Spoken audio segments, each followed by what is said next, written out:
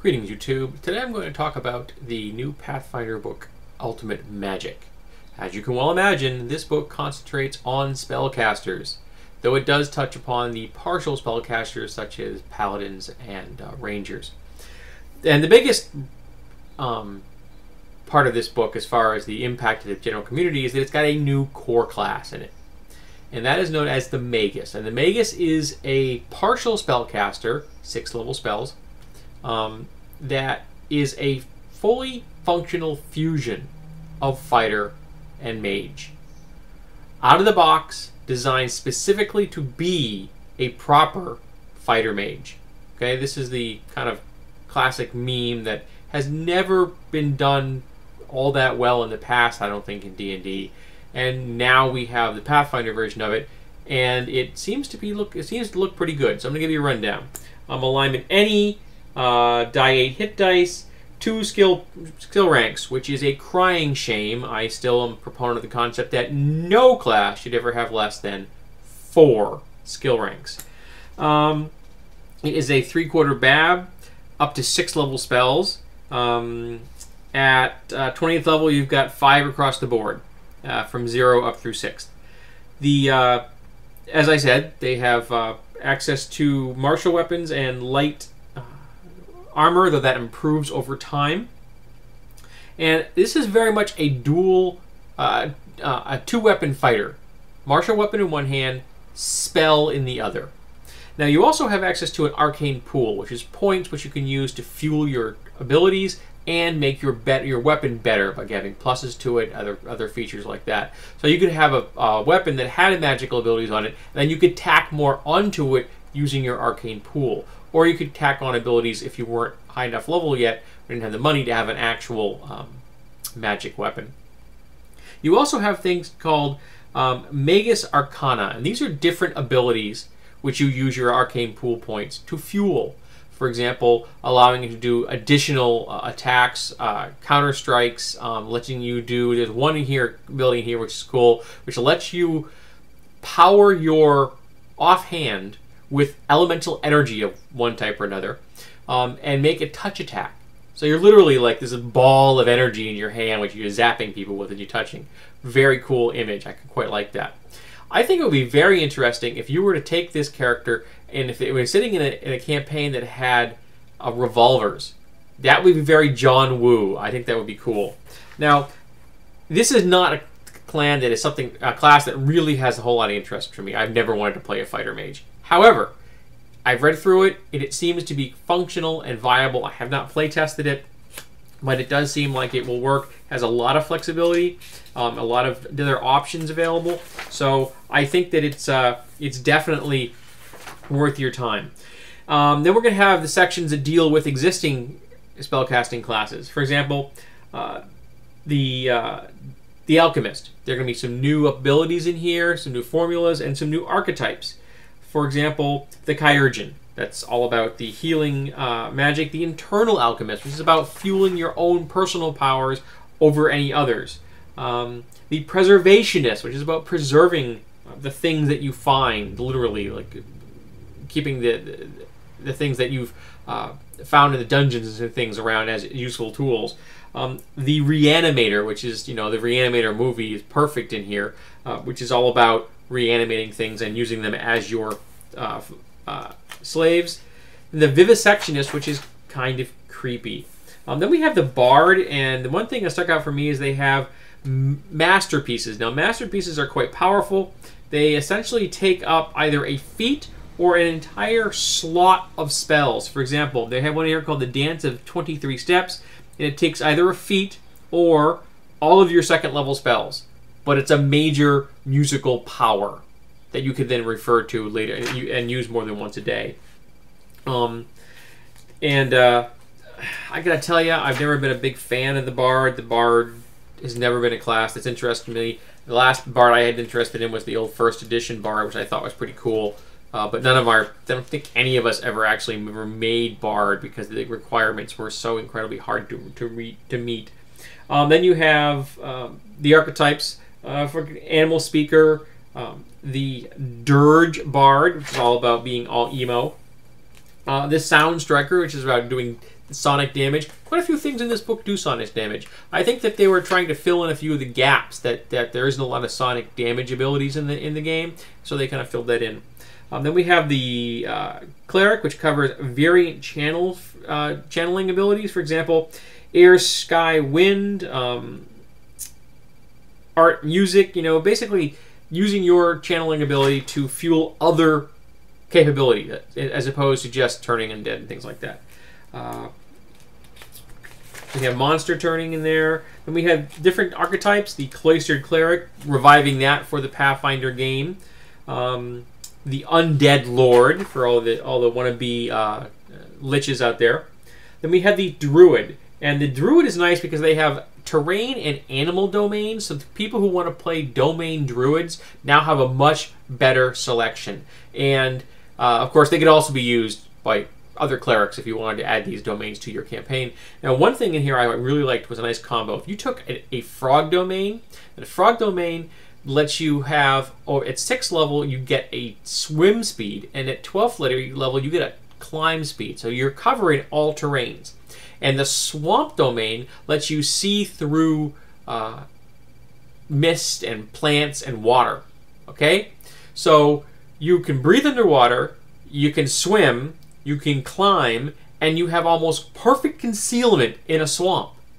This is going to be a killer combo, literally, for NPC uh, druids when facing off against a group. You tack that onto a lizard man, and you know, or, or, or an orc or a kobold, and they're going to be picking off characters right and left because they're never going to know what hit him in a swamp.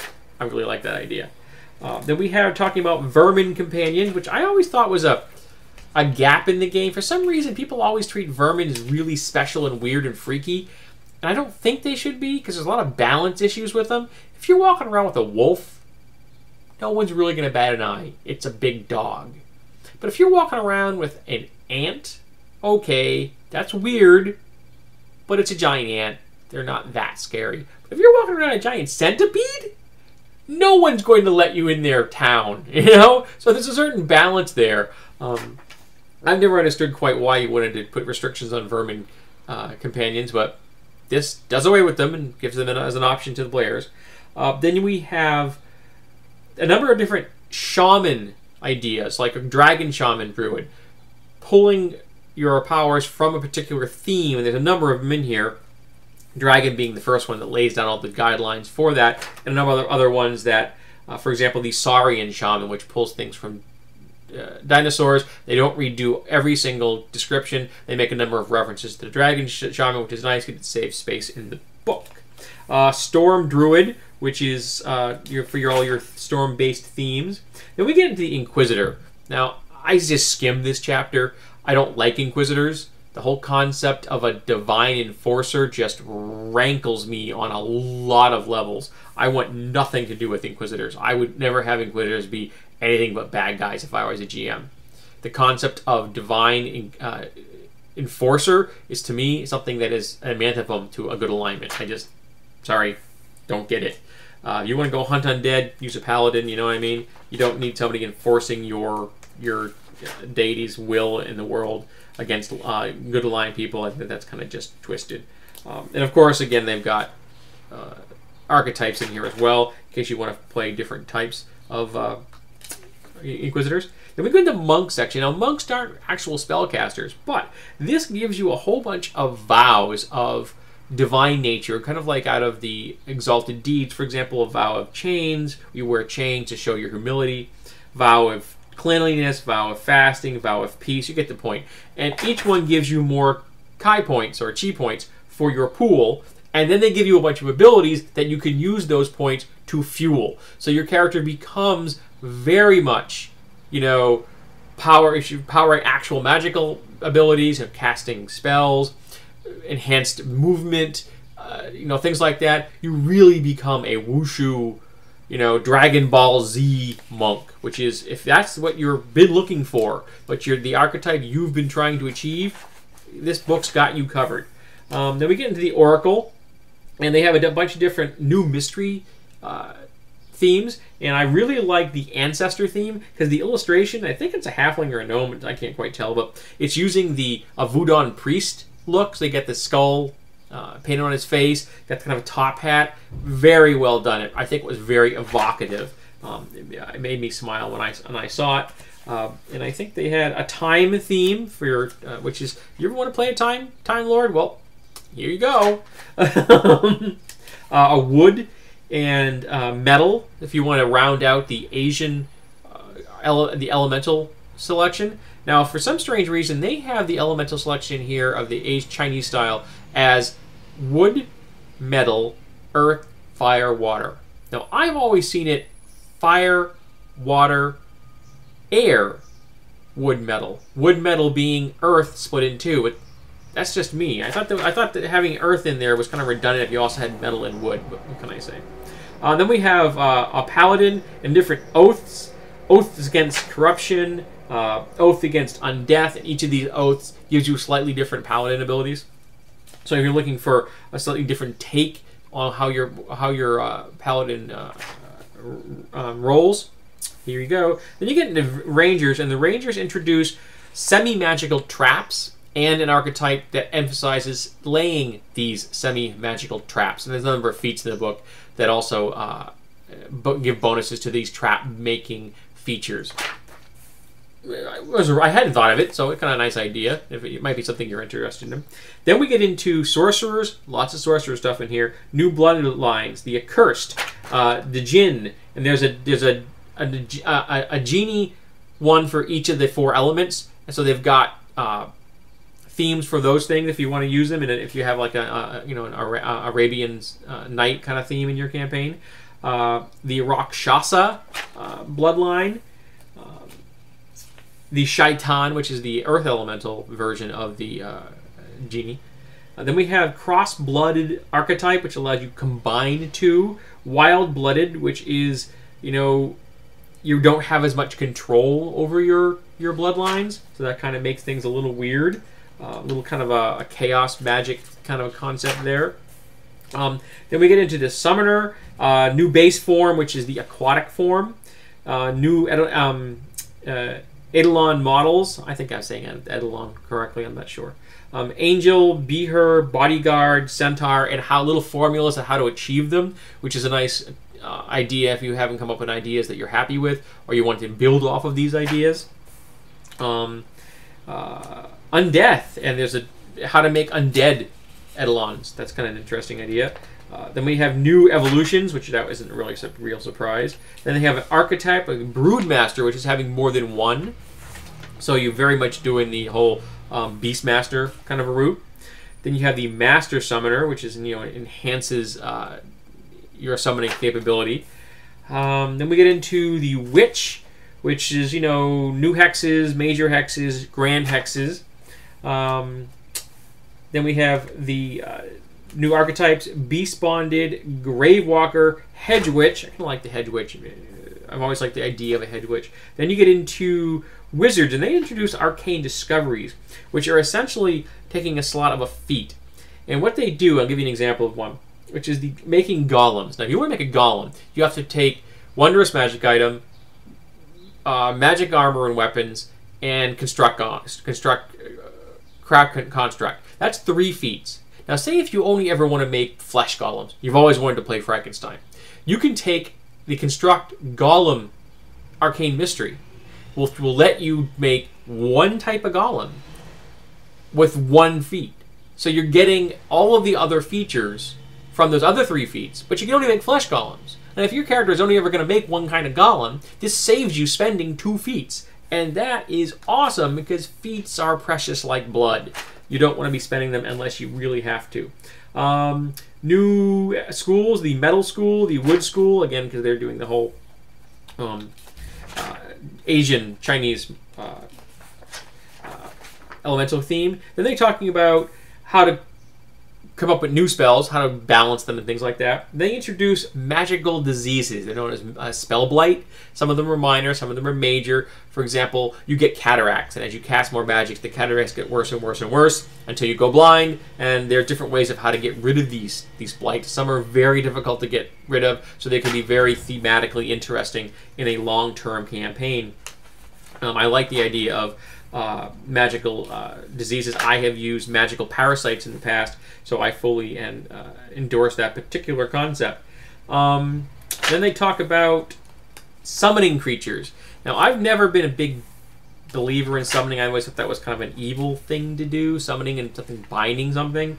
But if you have a player in the character player character who wants to do that, or you have an NPC and you want real details on how to do that, this has got you covered.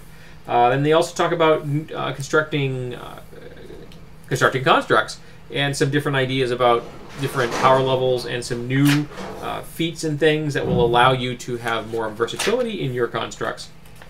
Um, then they introduce bunches of new magic items. Of course, that's really cool.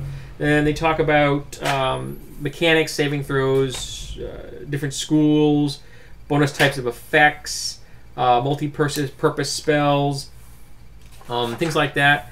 Then we get into a whole section on feats. That's not going to surprise you. This is a you know a very crunchy book, which I happen to love.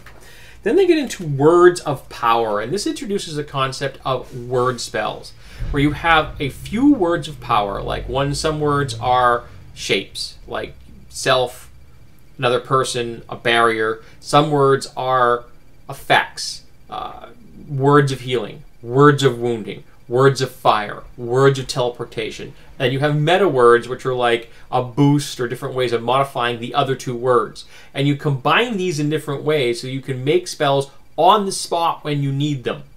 And I can understand why they did this, because some people don't like the Vancian magic system. Some people don't like the point spell point system. That is uh, essentially what what the psionic system is. And with Pathfinder, we now have access to the Psionics Unleashed book, which is awesome. Go buy that book. Um, and so they introduced this. I'm going to do a separate video about my discussions on this. I'm not going to fill it up. It looks viable, and if this is something that you've been interested in, uh, there you go. And the rest of the book is pretty much nothing but spells and lots of them. And some of them were quite good because I think a couple of them made me think of someone really put their put themselves and projected themselves into the game because they created spells that a person in a magical world would invent. For example, there's two spells, kind of the counter to each other. One strips a corpse of all flesh and leaves you a nice, clean skeleton. Another one adds flesh to a skeleton that you found. So you can then look at the creature, what it looks like, for identification purposes, or turning it into a zombie. Um, and these, to me, are spells that would be created because they would be needed in a world of magic. And I like the way that, that that kind of thinking. That means to me that's a very thorough way of game design. They also again there's a bunch of psionics in here. I mean, rather a bunch of sonic spells in here and a bunch of uh, electrical and cold spells, which I think fill in some of the gaps that their damaging spells may have had in the past. They're kind of trying to fix that. Um, so overall, I was very impressed with the Ultimate Magic. I think if you're playing a magical type of character or you're a GM, this is a book you're really going to want to look at. Um, and if you like fighter mages, the Magus is probably going to be something that's going to be right up your alley. Overall, I can't really say anything negative about this. I definitely think it's worth your time.